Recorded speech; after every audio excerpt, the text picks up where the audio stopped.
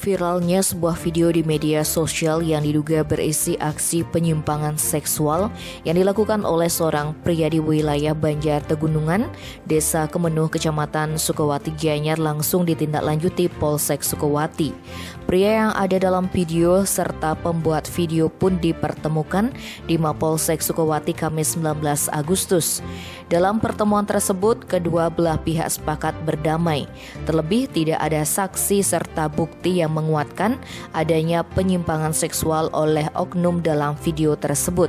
Sebab apabila dibiarkan berlarut, video tersebut bisa diadukan dan si pembuat video bisa terancam pelanggaran Undang-Undang ITE dan pencemaran nama baik karena memberi berita yang tidak benar. Dikonfirmasi terpisah Kapolsek Sukawati AKP Imade Aryawan menjelaskan pihaknya telah memanggil tiga orang yang terlibat dalam kasus video viral tersebut. Hal itu dilakukan lantaran tidak ada bukti dan saksi yang menguatkan perilaku menyimpang dari pria yang terekam. Pihaknya berpesan agar masyarakat tak sembarangan mengunggah video ke media sosial, apalagi jika duduk permasalahan dan kebenarannya belum dapat dipastikan. Sebelumnya, sebuah video viral di media sosial lantaran berisi dugaan perilaku menyimpang dari seorang pemotor.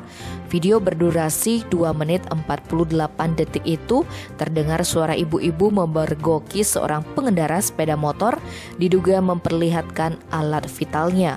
Namun pria itu mengelak dan mengatakan saat itu dia hanya kencing kemudian lupa menutup resleting celananya. Tim Bali Express melaporkan.